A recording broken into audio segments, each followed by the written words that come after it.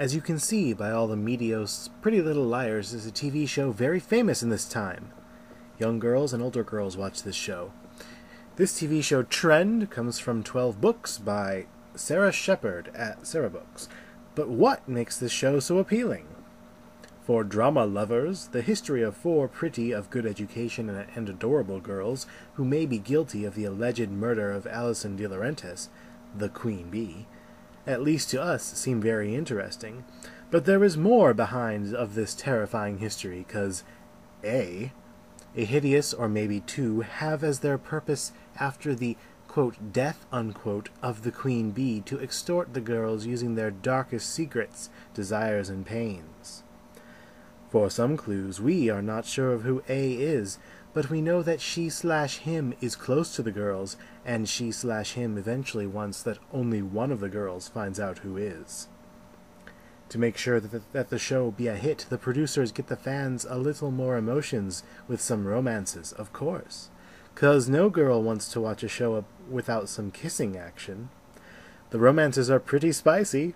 First, the English teacher, Mr. Fitz, gets involved with one of his students, Aria. Second one of the girls, Emily, may be lesbian. Third Spencer, in the second season, starts a relationship with Toby, one of the main suspects for the death of Allie. Fourth Hanna, the popular girl, have problems in her relationship with the popular boy, Sean, by the arrival of a boy, Caleb, a little different in terms of her style.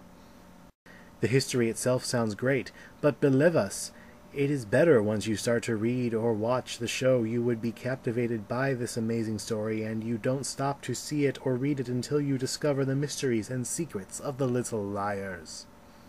We invite you to discover who A is? XOXO PLL 21 Girls.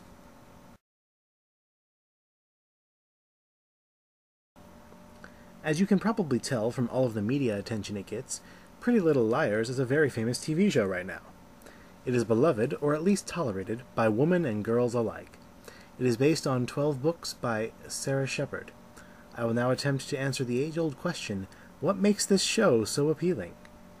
For lovers of drama, both in the literary sense and as it pertains to melodramatic high, high school bullshit, the history of four attractive and well educated girls that are possibly also murderers is probably right up your alley. These girls allegedly killed Alison DiLaurentis, aka the Queen Bee. And I think the audience is not sure if they did it or not.